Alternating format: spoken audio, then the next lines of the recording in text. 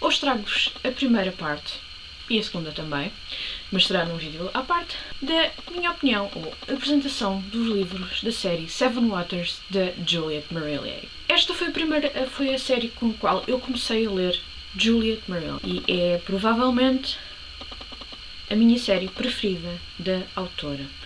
É também a série porque a autora é mais conhecida e que ganhou imensos prémios uh, literários internacionais. Porquê é que eu digo que este vídeo tem uma parte 1 e uma parte 2? Na primeira parte eu vou falar-vos da trilogia inicial, A Filha da Floresta, O Filho da Sombra e A Filha da Profecia. E na segunda parte eu vou falar da segunda parte da, daquilo que eu considero que é a segunda trilogia, que é uma continuação da Seven Waters. E o primeiro é Here to Seven Waters, Seer of Seven Waters, Flames of Seven Waters. Apesar de ser uma série, eu considero que são duas trilogias, porque hum, as histórias e a maneira de contar as histórias são muito diferentes e também uh, as datas de publicação foram, foram muito afastadas uh, em relação à primeira, entre a primeira trilogia e a segunda trilogia. O primeiro livro, A Filha da Floresta, eu tenho a versão em inglês neste momento, eu li a versão portuguesa, mas emprestei o livro e nunca mais o vi. E entretanto, há um, um ano passado, ou já há dois anos, não sei, consegui comprar a versão inglesa com a mesma capa das edições da Bertrand, que eu gosto destas capas com pinturas antigas. A Filha da Floresta passa. A nossa personagem principal é Sorcha, Provavelmente não é assim que se diz, uh, mas eu não sei, não sei se tem um guia de pronunciação, eu não fui ver desta vez. Sorcha é a nossa personagem principal e é uma personagem que é muito como em muitos livros da Juliet Marillier, vão, vai passar as passas do Algarve, ou seja, vai passar por várias provações.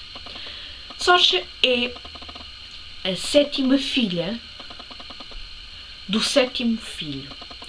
Isto é extremamente importante na, na cultura celta, porque o sétimo filho do sétimo filho tem, normalmente diz que tem poderes especiais, ou que pode fazer magia, ou tem qualquer coisa de especial nele. Sorcha é a única mulher na família, portanto ela tem seis irmãos mais velhos e que são todos muito diferentes Uh, aliás, nos primeiros capítulos nós temos um pouco da infância deles e eu, eu, adoro a maneira como a, como a autora escreveu essa parte. Que sente-se sente que há ali uma união de, entre os irmãos e que eles todos querem proteger a irmã mais nova, mas ao mesmo tempo deixam-na crescer no meio, no meio deles, não há aquela coisa, ah, és uma rapariga, não podes brincar connosco. Não, há ali uma, uma preocupação de, de, de, de fazer sentir que faz parte. Eu não me recordo se aparece no, no livro ou não, mas eles já não têm mãe, ou no decorrer da ação do livro perdem a mãe. Não, não me recordo desse detalhe. E o pai acaba por conhecer uma mulher que é Lady Ognag e que vai acabar por casar com ela. E isso vai trazer dias negros para esta família.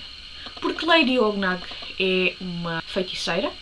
Os feiticeiros não andam pelo meio dos humanos, são, uma, são assim, são superiores, uh, mas esta como é degenerada e por isso mesmo ela quer, quer casar para ter o, um filho do pai de Sorcha e esse sim será o sétimo filho do sétimo filho. Se já é filho dela e já tem poder, porque é o filho de uma feiticeira, será um poder ainda mais forte por ser o sétimo filho do sétimo filho. Mas os irmãos de Sorcha e a própria Sorcha não estão muito. Eles desconfiam da, da madrasta. Aliás, isto é aquela típica história da madrasta má, inicialmente. E então ela lança-lhes um feitiço e esse feitiço faz com que os irmãos se transformem em cisnes. Há uma noite por mês, por mês em que eles uh, se tornam humanos e é quando eles depois podem visitar a irmã, a Sorcha.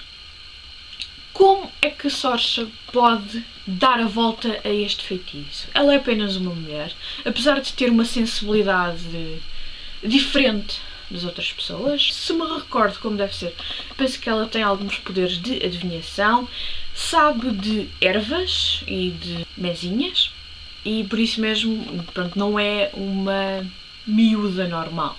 Mas, de qualquer maneira, ela não é nenhuma feiticeira e para conseguir salvar os irmãos, Sorcha vai ter que fazer seis camisolas de ortigas, ou uma planta que é parecida com as ortigas. Isso implica com que ela apanhe as ortigas, que já por si próprio não é tarefa fácil. Depois vai ter que uh, tratar as ortigas para conseguir fazer linha. E depois tecer a camisola. Se vocês nunca tocaram num, numa ortiga, a sensação que, que dá nas mãos é ardor e normalmente faz inchar. Se tocarmos só com o dedo, ficamos com o dedo inchado. Agora, ela para as apanhar e para hum, tecer, imaginem, ela ao fim de algum tempo fica com as mãos completamente inchadas. Como se isso não fosse tarefa árdua, durante esse tempo todo ela não vai poder falar. O que significa que até os irmãos vestirem as camisolas e realmente se voltarem a transformar em humanos, Sorcha não pode emitir nenhum som. Para complicar ainda mais a situação, ela acaba por ser levada por um bretão para a Bretanha. A ação Seven Waters é em território celta e ela vai ser levada por um bretão para a Bretanha sem nunca dizer uma palavra. Ela vai ter que se relacionar com todas as pessoas à volta dela, seja para o bem ou seja para o mal, sem emitir um som.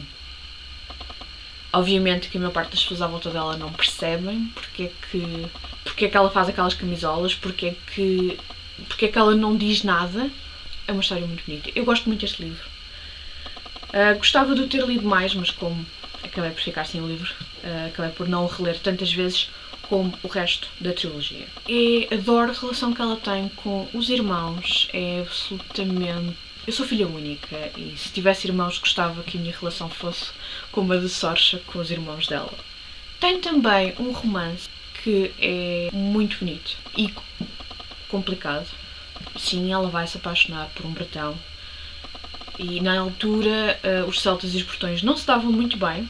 Há algumas cenas uh, da luta dela fortes, em que eu noutros, noutros livros da autora não achei que ela conseguisse fazer cenas tão boas como, como neste livro. Spoiler. Há uma altura em que quando a Sorcha começa a fazer as camisolas em que ela, pronto, ela não, já não está em casa, ela está num local remoto na floresta, na floresta de Seven Waters, e há uma série de homens que a apanham e como podem uh, se calhar adivinhar, a coisa não corre muito bem para ela. É uma cena que eu acho que está, está muito bem de, de, escrita, mas que uh, dói um bocadinho. Dói um bocadinho ler. O Filho das Sombras é o segundo livro e neste livro vamos seguir uma das filhas de Sorcha. Isto é muito comum nos livros da Juliette Marillier. No primeiro livro aparecem-nos umas personagens, no segundo livro aparecem os filhos dessas personagens. Este é. Sim, eu posso dizer que é o meu livro preferido da autora. Vamos seguir Leiden e ela, tal como a mãe, tem o dom da visão, o talento de curar e um, fala também com algum mundo espiritual, sobrenatural, os espíritos da floresta que é assim aquela parte mais sobrenatural destes romances. Uma das coisas que vai marcar os próximos livros é o facto de os celtas quererem retomar as Ilhas Sagradas aos portões. E uh, Lydon tem uma visão que isso só poderá acontecer se ela permanecer em Seven Waters. Mas será que as visões que ela está a ter são realmente a verdade ou se é uma maneira de a tentarem manipular. Liden costuma uh, ajudar as famílias que vivem próximos de Seven Waters, da, da casa dela, a curar, ajudá-los a curar e esse tipo de coisas. Ela vai acabar por ser raptada pelo gangue do Homem Pintado.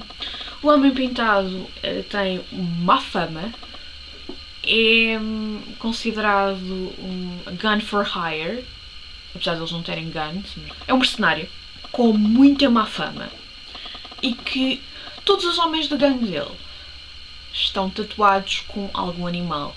Portanto, imaginem vocês andarem numa floresta e de repente aparecem-vos assim um, uma série de gente uh, tatuada com uh, penas. No, imaginem, metade da cara tatuada de um animal com penas e com uh, peles e whatever. E digamos que é assustador. O romance vai ser entre Liden e o Homem Pintado, a que ela depois vai chamar de Bran.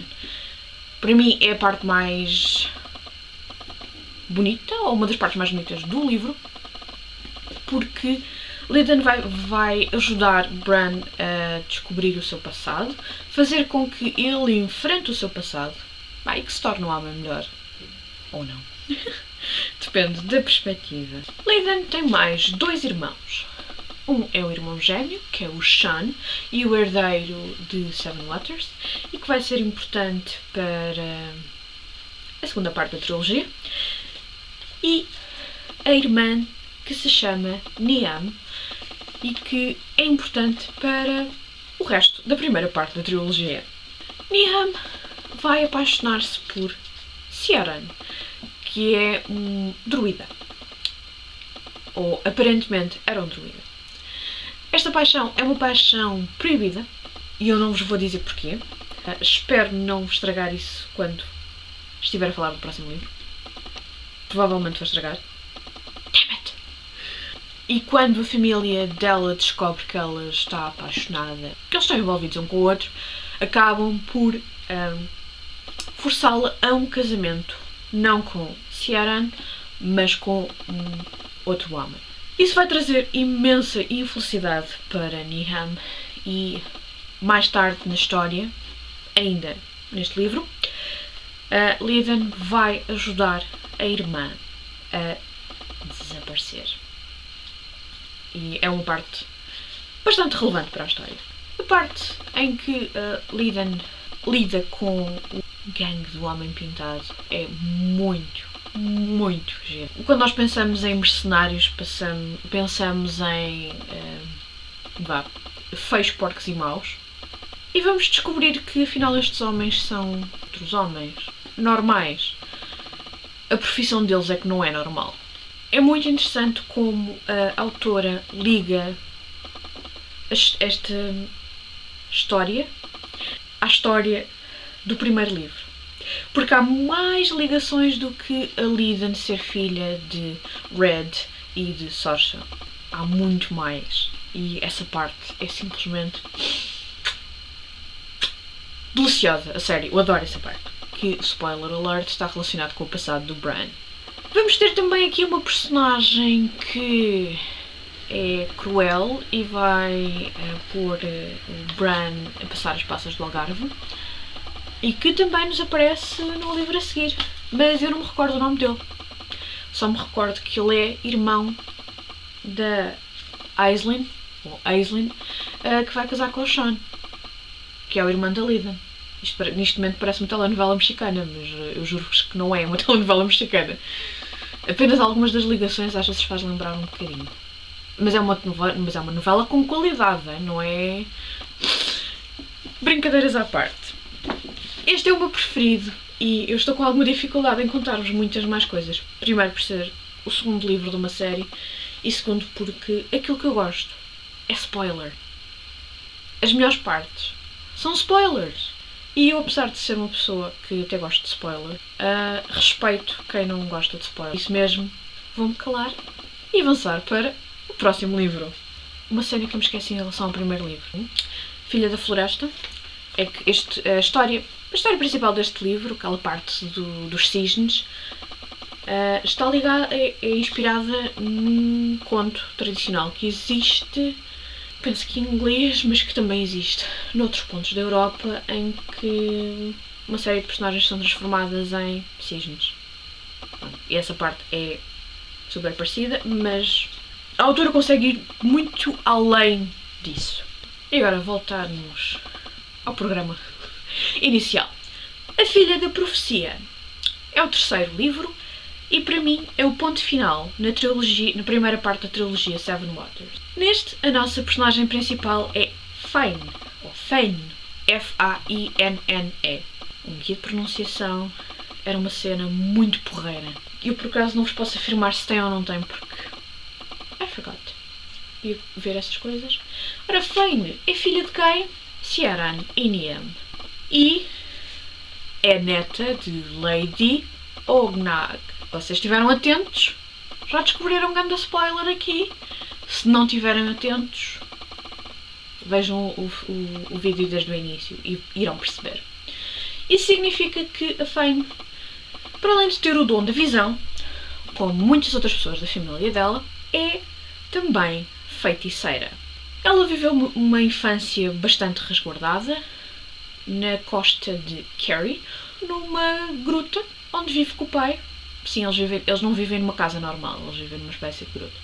É uma infância que é dominada pela solidão, ela praticamente não se dá com ninguém. Mas tudo muda quando, quando Ciaran deixa a sua casa e a Lady Ogna começa a treinar a Fane.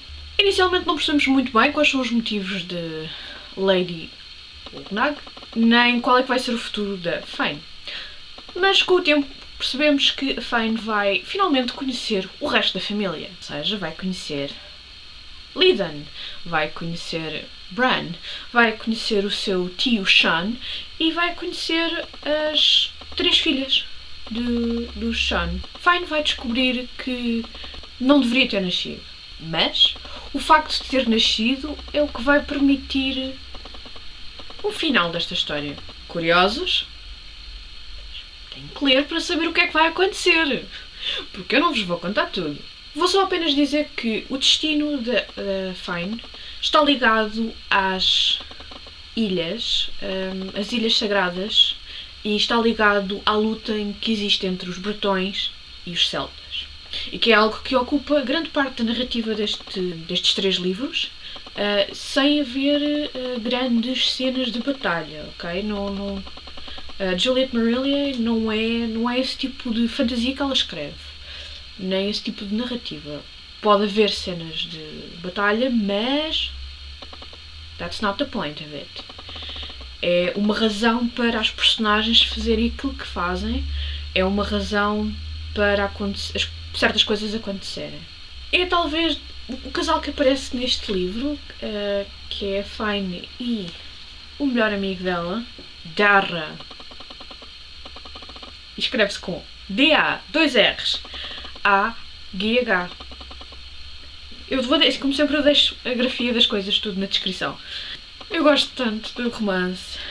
Um, porque, como eu disse, ela viveu uma vida muito resguardada e não tinha praticamente amigos nenhums, excepto o Darra. E é tão fofinha a relação, é mesmo, é mesmo fofinha. Tudo tem um propósito neste livro, mais até do que nos outros anteriores. A construção da personagem da Fane, a solidão que ela passa quando é miúda, o facto de ela ser filha de uma feiticeira, uma neta de uma feiticeira, mas desculpa, filha de um feiticeiro e druida, tudo tem o seu propósito. E só no final é que vocês sabem qual é esse propósito. Para mim, a série Seven Waters podia ter terminado assim. Apesar de, sim, eu gostava de ter sabido o que é que acontecia à Fine depois depois da situação resolvida do livro, gostava de saber mais alguma coisa, ou eu inicialmente até pensei que a trilogia seguinte fosse sobre as filhas dela, ou filhos, mas não. E acreditem, foi uma grande surpresa ter haver uma, haver uma continuação, porque pronto, a história estava resolvida. Havia paz entre os Bretões e os Celtas, havia paz nas personagens que, que Juliet Marillier criou. Podia-se dizer que tudo tinha acabado bem, mas será que não? Não percam a segunda parte do vídeo, já a seguir.